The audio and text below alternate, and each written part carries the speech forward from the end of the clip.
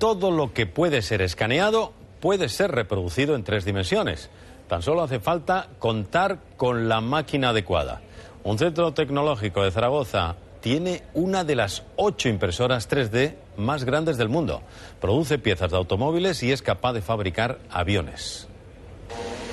Según se mire, este aparato es una minúscula fábrica o una gigantesca impresora, o ambas cosas. La Fortus 900 es una de las ocho impresoras 3D más grandes del mundo y esta funciona ya en Zaragoza. Su especialidad son las piezas de automóvil, pero también ha demostrado su capacidad para imprimir aviones más baratos, más resistentes y en menos tiempo. Lo que hace es depositar un pequeño hilo de termoplástico fundido con el que va dibujando la impresión de cada una de estas capas. La impresión en tres dimensiones ha dejado de ser ciencia ficción. Está ya casi al alcance de cualquiera que tenga algo que reproducir. Desde una enorme llave inglesa imposible de manejar hasta una aleta para que este pato herido pueda volver a caminar y a nadar.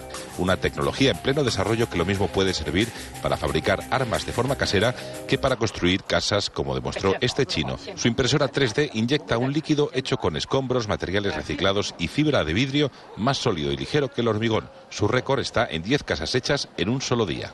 El secreto, al fin y al cabo, está en la tinta. El mundo de la medicina sigue buscando los mejores materiales para fabricar prótesis a medida que no provoquen rechazos y órganos casi humanos. La NASA también investiga en una máquina que reproduzca comida en las naves espaciales. Aunque eso ya está inventado, una empresa española ha patentado esta máquina que imprime comida y que utiliza como tinta exactamente eso, comida.